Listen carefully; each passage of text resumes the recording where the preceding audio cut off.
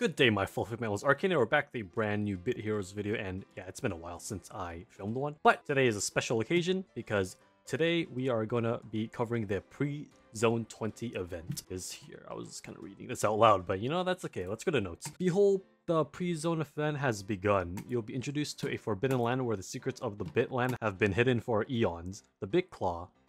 What? Yeah, that's kind of that's kind of a wacky name, but honestly, well, I fuck with it. Gather corrupt egg shards and bring them to Sardanex for Kura. So we have another Sardanex event. So zones have been boosted. Experience earned is double. Daily bonus are double this rig. New PvP have uh, begun.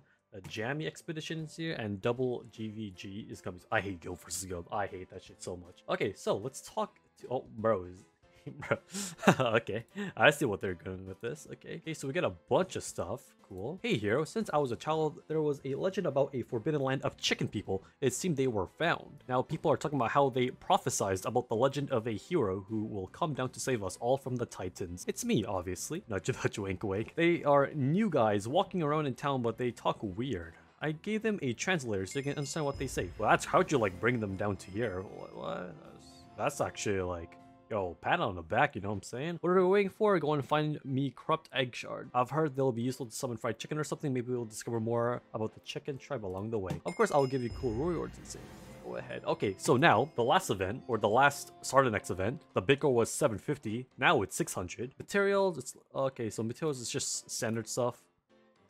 Okay, I don't mind that and boost box. Odagor. Um, I assume the community gave the devs like some flack or like the higher up that Bitgore got removed, making it really hard for like free to play such new players to like play the game or like progress. Okay, let's check the shop. Digging deeper pack. That's what she said, honestly. Okay, cool stuff. No Bitgore, Sedge. Uh, nothing like too special, if I'm being honest. Okay, so uh, what you want to prioritize first, obviously, must, you must get the material box empty. Then you get the boost box or Bitgore, whichever one first. And yeah, vice versa. So how I like to do it is I'll just go in here and I would enter because it's only 20 energy and you get like three bosses. So you have a chance to get a maximum of six. Yeah, that's about it. There's not much to cover, except tier 21 is releasing. I don't know when.